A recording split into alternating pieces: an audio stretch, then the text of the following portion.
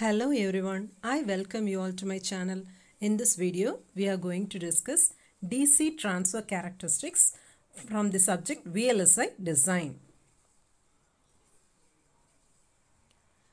First, let us see the introduction.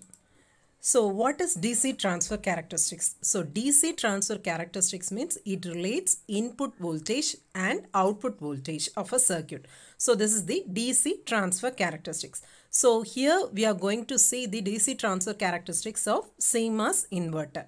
So, one assumption is made that is input changes slowly. We are assuming that the input changes slowly. So, why we are assuming this means uh, so that only the capacitance have an enough time to charge as well as discharge. So, for that purpose, we are assuming that the input voltage changes slowly. So, here uh, the important topics that we are going to discuss are static CMOS inverter DC characteristics, beta ratio effects, noise margin and pass transistor DC characteristics. So first let us see the static CMOS inverter DC characteristics. So DC transfer function we are going to derive. So this is the CMOS inverter circuit. So it consists of a PMOS transistor as well as NMOS transistor. Here IDSP is the drain to source current flowing through the PMOS transistor. Here P stands for PMOS. Similarly, IDSN that is the drain to source current flowing through the NMOS transistor and Vin is the input voltage, Vout is the output voltage.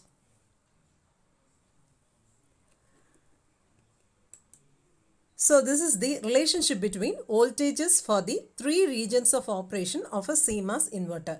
So in, the, in my previous video, we have seen the three regions of operation. One is cutoff region, the second one is linear region and the third one is saturation region. So there is some condition for the NMOS transistor to be operated in cutoff region or linear region or saturation region. Similarly, PMOS transistor to be operated in cutoff region, linear region or saturation region. So these are the conditions given. Cutoff region or linear region or saturation region. Similarly, PMOS transistor to be operated in cutoff region, linear region or saturation region. So these are the conditions given.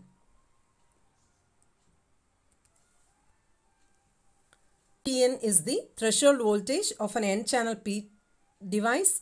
VTP is the threshold voltage of the P-channel device and here we have to assume that for the P-channel devices always to be negative. Then the equations are given in both terms of VGS by VDS and Vin by Vout.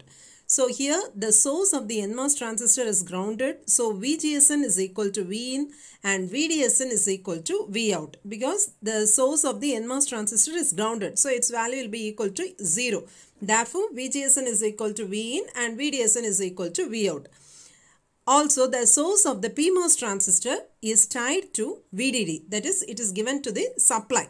So VGSP is equal to that is gate to source voltage of PMOS transistor is equal to Vin minus VDD and VDSP equal to Vout minus VDD.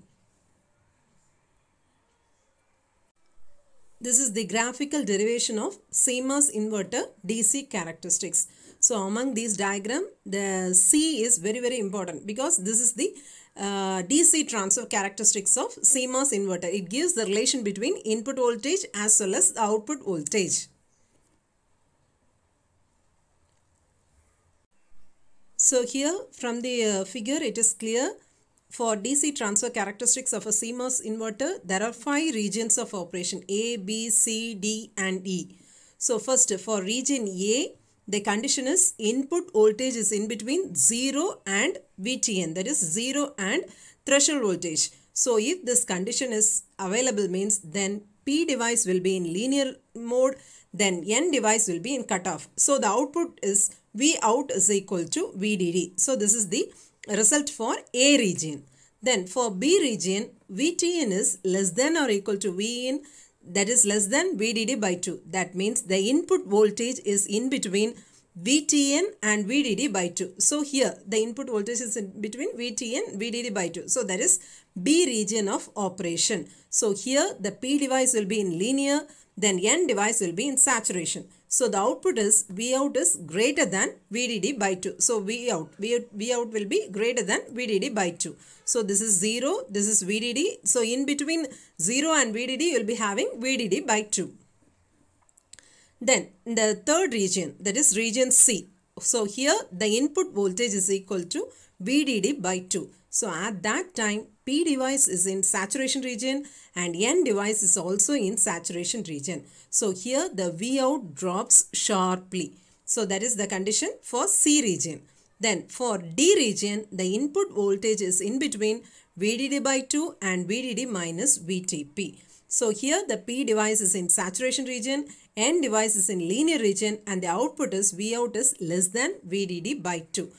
Also the last region that is in E region input voltage Vin is greater than VDD minus VTP. So at that time the P device is cut off and N device is in linear region.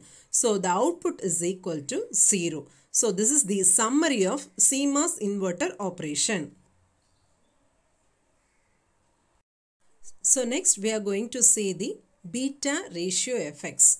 So beta ratio is nothing but the depending upon the size of the transistor the beta will be value will be decided. That is for beta p is equal to beta n means for pmos transistor beta value and nmos transistor beta value if both are same means then the threshold voltage v invert uh, that is for an inverter.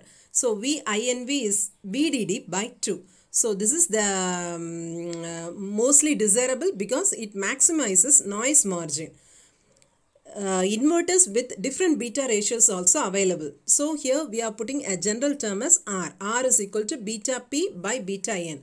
So these inverters are called as skewed inverters. So the inverters with different beta ratios that means different size inverters. So that inverters are called as skewed inverters. So here if R value is greater than 1 then that inverter is high skewed inverter. If R value is less than 1 that inverter is called as low skewed inverter. If R is equal to 1 means then the inverter has normal skew or it is unskewed inverter. So here there is an important characteristic for high skew inverter as well as low skew inverter. For high skew inverter it has stronger PMOS transistor. For low skew inverter, it has weaker PMOS transistor. So, for low skew inverter, it has lower switching threshold. So, this is the transfer characteristics of skewed inverters for beta value that is uh, R value. R is equal to beta P by beta N. So R value is equal to 1 means you will be getting the curve like this. Then R is equal to 0.5, R is equal to 2, R is equal to 10, R is equal to 0.1. So for these the characteristic curves are drawn.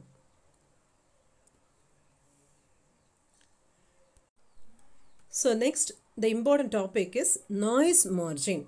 So this noise margin is related to DC voltage characteristics.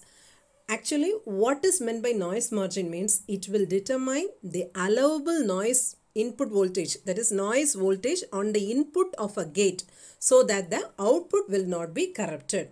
So allowable noise voltage value is it will be given by this noise margin.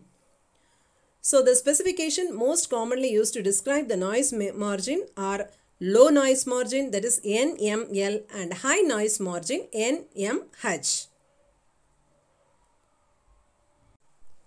So here let us define the definition for NML that is low noise margin. So low noise margin is defined as the difference in maximum low input voltage recognized by the receiving gate and the maximum low output voltage produced by the driving gate. So that is the definition for low noise margin. NML is equal to VIL that is V input voltage VIL minus VOL.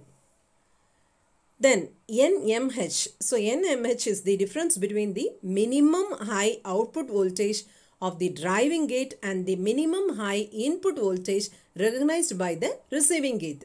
That is NMH is equal to VOH minus VIH. So VIH stands for minimum high input voltage. VIL stands for maximum low input voltage.